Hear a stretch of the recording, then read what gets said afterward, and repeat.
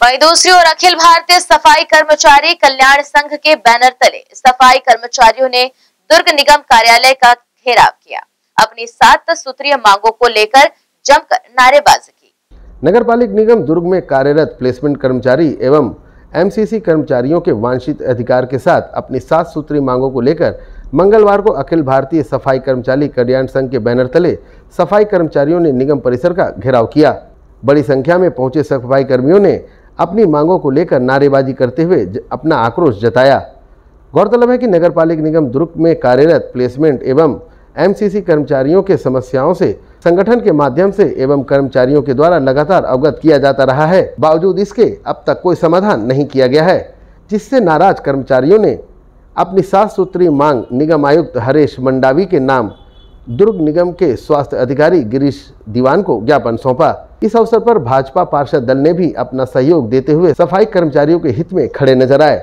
इस अवसर पर कर्मचारियों ने एमआईसी स्वास्थ्य प्रभारी हामिद खोकर के द्वारा स्वास्थ्य विभाग में नए कर्मचारियों की भर्ती एवं पुराने कर्मचारियों को कार्य से बंद करवाने का कार्य किए जाने का आरोप भी लगाया। इस संबंध में न्यूज़ टीम को अखिल भारतीय सफ़ाई कर्मचारी कल्याण संघ के पदाधिकारी व भाजपा नेता प्रतिपक्ष सहित भाजपा पार्षद ने अपनी प्रतिक्रिया दी है।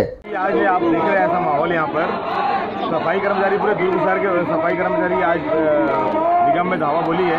उसका कारण, मुख्य कारण ये है, आज जितने भी सफ़ाई कर्मचारी आप लोग देख रहे हैं, उनको निगम से मात्र छः हज़ार रुपये मिलता है और काम करवाया जाता है डबल। यहाँ से रिक्शा लेकर जाएँगे, फिर कंपोज जाएँगे कंपोज से फिर बोसी जाएँगे। कंपोज में लेके जाते हैं पूरे शहर से साठ वर्कर और बोसी जाता है लगभग लगभग साठ वर्कर। वो कर्मचारी जो निगम के लिए निगम के माध्यम से वार्ड में रहता है, वो वार्ड में काम नहीं करता, वहाँ दो घंटे काम करता महज, और बाकी पूरा काम निगम खुद अपने खाद बनाने के लिए और वो कचरा छाटने में लगा लेती है।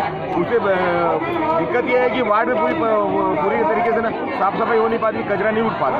और ये काम ये लोग, निगम का पॉलिसी ऐसा है, वो ड्यूटी लेते हैं एक बार की चार बार की ड्यूटी लेते हैं, मान लीजिए मान लीजिए, कंपोज भेजेंगे, सफ़ाई कराएँगे, रिक्शे से कचरा उठाएँगे और तनख्वाह एक मात्र एक काम कर देते हैं छः हज़ार रुपये तनख्वाह देते हैं। और दूसरा, कोई भी सफ़ाई कर्मचारी अगर एक दिन की छुट्टी करता है तो दो दिन का पैसा काटते हैं। इनकी अपनी पॉलिसी है ये। और सबसे बड़ा माइनस इनके साथ कोई भी महिला जबकि डॉक्टर भीमराव अंबेडकर ने ये नियम बना के रखा है, किसी भी महिला को प्रसव के समय उसका छुट्टी, उसको छुट्टी मिलती है और उसका पैसा नहीं कटता। ये पैसा भी काट देते हैं और यहाँ तक कि अगर उसके सब उसे घर से कोई काम करने आता है, उसको भी मना कर देते हैं। मैं अजीत वैद, यहाँ पर जो स्वास्थ्य प्रभारी है, मिस्टर खोकर जी, इनके पास कई बार गया, सर मेरे वार्ड में सफ़ाई कर्मचारी कम है, उनको दूसरे वार्ड से सफ़ाई कर्मचारी मेरे को ला के दे दो जब ट्रांसफ़र कर दो, वो नहीं सुनते, वो सिर्फ़ अपनी मनमानी करते हैं, जैसा उनके मन में आता है, वो वैसा करते हैं। कई बार मेरे सामने फ़ोन आया उनको कि भैया मेरे को दो कर्मचारी दे दो तो उन्होंने वहाँ दे दिया, मैंने क्रॉस चेक किया था। मैं नाम भी बता रहा हूँ, तेरह नंबर वार्ड में ग्यारह सफ़ाई कर्मचारी ग्यारह लोग झाड़ू झाड़ू लगाने वाले हैं। वहीं मेरे वार्ड में मात्र तीन कर्मचारी झाड़ू लगाने वाले। वो भी आज अभी कंटिन्यू एक महीने से छुट्टी में ये ऐसा इनका अत्याचार चल रहा है हम लोग के वार्ड के लिए, हमारे बीजेपी सरकार के लिए। और उनके वार्ड में, उनके कांग्रेसी वार्ड में प्रॉपर उनके सारे के सारे सफ़ाई कर्मचारी। विगत एक वर्षों से हम निगम कमिश्नर महोदय को, कर्मचारी के वंचित मांगों के विषय में उनसे अवगत कराया जा रहा है। परंतु अब तक आयुक्त महोदय जी के द्वारा किसी प्रकार कर्मचारी हित में कोई निर्णय नहीं है। अभी हाल में हमने सात सात छः दो हज़ार बाईस को निगम आवेदन निगम कमिश्नर को आवेदन दिया हुआ था कि हमारी सात सूत्री मांगे हैं जिसको सात दिवस के अंदर निराकरण करके हमको अवगत कराया है। परंतु आज 21 तारीख हो गया अभी तक हमारे पास निगम निगम प्रशासन कोई भी लेटर नहीं आया है जिससे हम संतोषजनक तो और हम्म। यह मांगे ऐसी भी नहीं थी कि हम शासन प्रशासन से मांगे ये मांग ऐसी थी जो निगम प्रशासन खुद इस समस्या का निराकरण कर सकते हैं। लेकिन निगम प्रशासन को हम सिर्फ़ यही बोल सकते हैं कि अपना स्वार अभी बीच में हमने पाँच तारीख को पाँच पाँच पाँच दो हज़ार बाईस को पूर्ण रूप से काम बंद करने का निवेदन किया गया था, आवेदन दिया था। लेकिन कमिश्नर साहब के द्वारा बैठक बुलाया गया और हमको कहा गया है कि हम दुर्ग नगर निगम के एक सफ़ाई व्यवस्था में सफ़ाई व्यवस्था को देखते हुए एकदम स्वतंत्र रूप से हम आपके साथ हैं। लेकिन हमको कहीं ना कहीं सर्वेक्षण का झांसा दे करके उस दिन हमको बोला गया कि हम आपका सहयोग करेंगे आप अभी का जो हड़ताल है उसको निरस्त कर दीजिए हम बाद में आपका सहयोग करेंगे। लेकिन कहीं ना कहीं निगम प्रशासन भी यही चाहती है कि उनका काम बनता रहे और जो निगम कर्मचारी है वो अधिकार से अब आगे आप लोग किस तरह का रुख अपनाएँगे? हम ये चाहते हैं कि अगर ये जो मांगे हैं सात मांगे हमने किया है जो निगम प्रशासन के अधीनस्थ है अगर वो सात मांगे अगर पूर्ण रूप से नहीं होती है तो हम आगे अनिश्चितकालीन सुबह से काम बंद करके काम करेंगे निगम के सफ़ाई कर्मी हैं और इन्होंने कोरोना काल में जब कोई नहीं आ रहा था तो अपनी पूरी सेवाएँ दी है। अभी मुख्य मुद्दा है कि एक दिन अब्सेंट होता है तो दो दिन का नागा कटता है।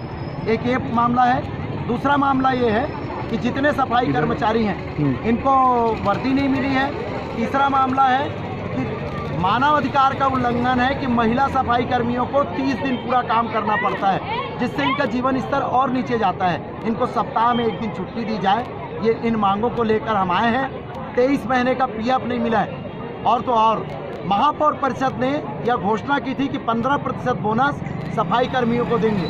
करोड़ों रुपया विधायक की सेवा में बहा दिया, किंतु तो कुछ लाख रुपए 15 प्रतिशत मेरे सफ़ाई कर्मियों को देना है, वो नहीं दिए हैं। तो इस मांग को लेकर सफ़ाई कर्मी आए हैं और भारतीय जनता पार्षद दल उनके समर्थन में आई है यह मांग पूरी नहीं होगी तो एक हफ़्ते बाद शहर में व्यापक और उग्र आंदोलन होगा और इन गरीबों की हक के लिए लड़ाई हम लगातार लड़ेंगे। कांग्रेस की शासन यहाँ पे आई है, महापौर यहाँ पर हैं। तब से एक ही प्रभारी का काम चल रहा है, वो है हमीद खोकर का। तो जैसा चाहे वैसे कर्मचारियों का तबादला करते हैं, जैसा चाहे ना वो किसी वार्ड में घूमते हैं, ना वहाँ की साफ़ सफ़ाई की समस्या देखते हैं, केवल और केवल कर्मचारियों के ऊपर दबाव डालते हैं और अपनी मोनोपल्ली चला रहे हैं। पूरे कर्मचारी उनसे परेशान है जब न न पार्षदों का सुना जाता है, न किसी का सुना जाता है, न पार्षदों की सहमति से तबादला होता है। बिगड़ किसी के सहमति लिए अपने मन मर्ज़ी से तबादला कर रहे हैं। पूरे कर्म आज का भी जो कर्मचारी हड़ताल है, पूरे हमी खोकर के खिलाफ समझा जाए। फ़िलहाल अखिल भारतीय सफ़ाई कर्मचारी कल्याण संघ के बैनर तले इन कर्मियों ने अपना आक्रोश व्यक्त किया है। देखना लाजमी होगा कि इनके इस आक्रोश का और सौंपे गए ज्ञापन का असर कब तक हो पाता है। ग्रैंड एशियन न्यूज़ के लिए दुर्ग से नसीम फारूकी की रिपोर्ट।